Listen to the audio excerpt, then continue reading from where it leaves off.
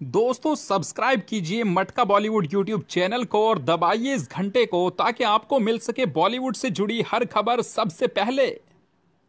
दोस्तों, स्वागत है आपका एक बार फिर से। जी हाँ दोस्तों, आज हम आपको अभिनेता टीनो मौर्य की 1 फरवरी 2002 में रिलीज़ हुई फ़िल्म राज और करण नाथ की 18 फरवरी 2002 में रिलीज़ हुई फ़िल्म ये दिल आशिकाना के बॉक्स ऑफ़िस कलेक्शन के बारे में बताएँगे। तो चलिए सबसे पहले बात कर लेते हैं ये दिल आशिकाना फ़िल्म के बारे में। दोस्तों, अगर हम ये दिल आशिकाना फ़िल्म की बात करें तो ये फ़िल्म 2002 में रिलीज़ हुई थी और ये एक इंडियन हिंदी एक्शन रोमांस से भरपूर फ़िल्म थी। इस फ़िल्म को संदेश कोहली ने डायरेक्ट किया था। इस फ़िल्म में करण नाथ, आदित्य पंचोली और जीविदा थे।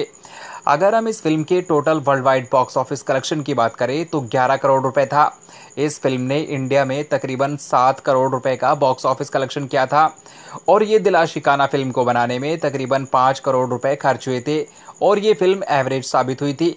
तो चलिए दोस्तों, अब बात कर लेते हैं राज फ़िल्म के बारे में। दोस्तों, अगर हम राज फ़िल्म की बात करें तो ये फ़िल्म भी 2002 में रिलीज़ हुई थी। ये एक हॉरर रोमांस से भरपूर फ़िल्म थी। इस फ़िल्म को विक्रम भट्ट ने डायरेक्ट किया था। इस फ़िल्म में डीनो मोरिया और बिपाशा बासु थे। अगर हम इस फ़िल्म के total world wide box office collection की बात करें तो सैंतीस करोड़ रुपए था। इस फ़िल्म ने इंडिया में तकरीबन तेईस करोड़ रुपए का बॉक्स ऑफ़िस कलेक्शन किया था और राज फ़िल्म को बनाने में तकरीबन पाँच करोड़ रुपए खर्च हुए थे और ये एक ब्लॉकबस्टर फ़िल्म साबित हुई थी। तो दोस्तों, आपको इन दोनों फ़िल्मों में से कौन सी फ़िल्म ज़्यादा पसंद आई थी, कमेंट में ज़रूर बताइएगा। मैं फिर मिलूँगा आपको एक नई वीडियो के साथ। तब तक के लिए अपना ख्याल रखिए। Thank you.